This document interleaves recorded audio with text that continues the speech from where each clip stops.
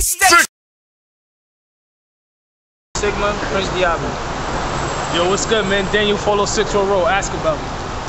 Claudie B, 406 Railroad Chapter, man. Yo, this is Kai, 407, Delta Epsilon Chapter, Rough Buck, the tip of the iceberg. Jason, Spring 06, Golden Gamma Sigma, Dukes. Spring 07, Side Side, Dion. Holla. Richard Bailey, 405, U Sigma, Rochester, New York, Co-Step Master. Lamar K. Chester, 405, Side Side, Co-Step Master, the New York City 18. Hey, hey, ho, six.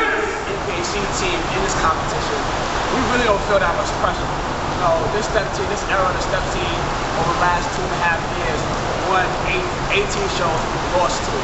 So to us, it's just another day in the park, we're ready to go out there and compete and compete amongst our fellow Greeks. You know, organization does not matter, council does not matter. The step competition, we're here, this come out support, no matter who you're rooting for. Step 11, baby. Overseas. We did. Get out. They think that NPHC teams only rely on our signature beat. Get out of here.